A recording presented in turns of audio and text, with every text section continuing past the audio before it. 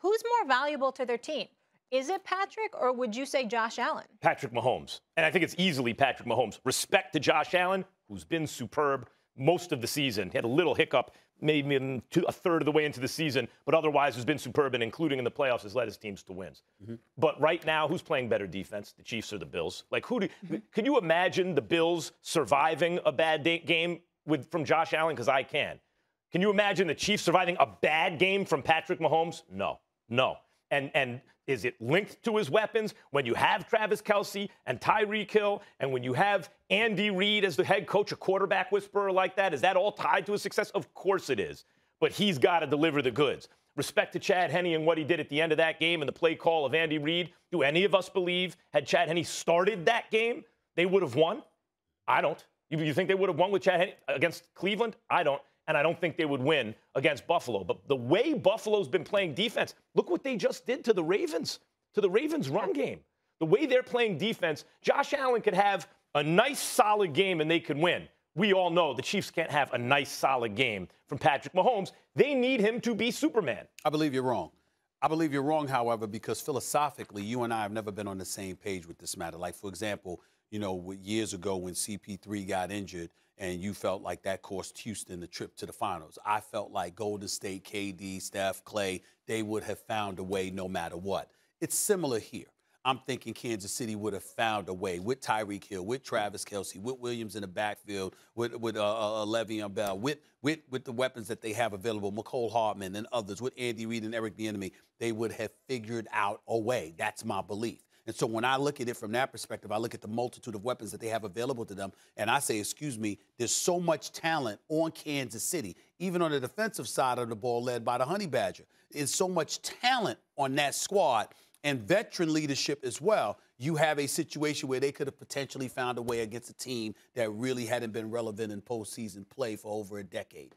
Well, um, that's how I'm looking at Cleveland. In the case of the Buffalo Bills, first of all, Stefon Diggs arrives. Josh Allen, we see what he can do.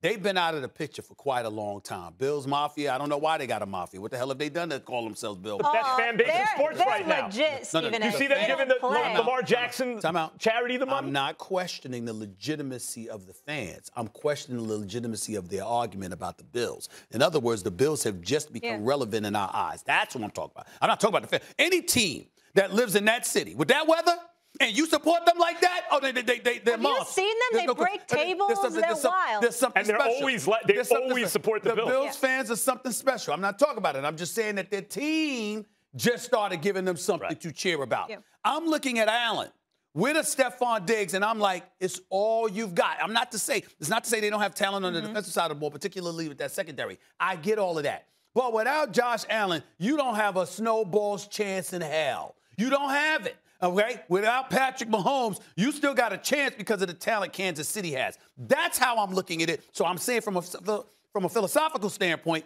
I look at Josh Allen as being more valuable to his team right now than Patrick Mahomes because to me, him and Stefon Diggs are it. Whereas with Patrick Mahomes, that's not the case. Wait, so your argument, your argument is that because Josh Allen and Stefon Diggs have this thing going on no, right no, now. No, no, no. You need the two of no, them. No, I'm saying that's it for them. I'm saying with Kansas City, I can look at a multitude of so things. So Chad Henne with, has enough different options that even yes, Chad Henne could beat. Right. Could beat the Buffalo Bills. What, I'm so, no, no. The question is who's more valuable to their team right now, Mahomes, the kid, Mahomes or Allen to their team. Okay, I'm not. And I'm dis- saying Allen is I'm more valuable to, the team. I'm not going to dispute the chemistry between Josh Allen and Stefon Diggs right now. It's obvious. But I will say this: I, I don't know that Stefon Diggs couldn't do that with a lot of quarterbacks right now. This dude is playing with as much or more confidence as any player in the NFL who's left playing right now. Mm-hmm. And in fact, who's the best receiver even left in the playoffs? And I love Tyreek Hill, but in terms of the way Diggs is playing right Max, now, it's probably him. Max, I'm not knocking a brother because he could play, and I guess I'm taking a, a slight shot at him mm-hmm. because he's a former Cowboy.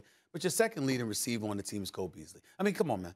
Come on, man. I mean, he can play. weapons, saying, he, he, can, he, can, play. He can play, but they don't have the weapons Kansas City but has. That's the point. But Kansas I, City is built to exploit those weapons. This, Buffalo, they're going to beat you in a shootout. I'm, I'm saying without Buffalo without, could win a defensive game. Most val- more valuable without Josh Allen. They, I mean, my God, they have no chance. With a Chad Henne, Kansas City would still have a chance against anybody because of the weapons around them. This is my position on I'm saying. Patrick Mahomes, and it has Anyone been in the with AFC. with the Chiefs since before the season started.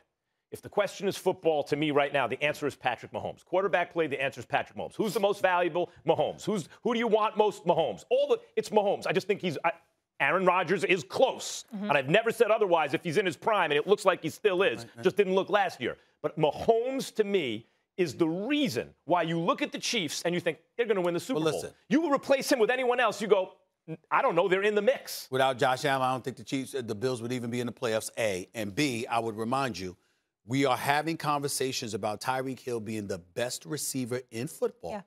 And we are having conversations about Travis Kelce already being a Hall of Famer. Thanks for watching ESPN on YouTube. For live streaming sports and premium content, subscribe to ESPN Plus.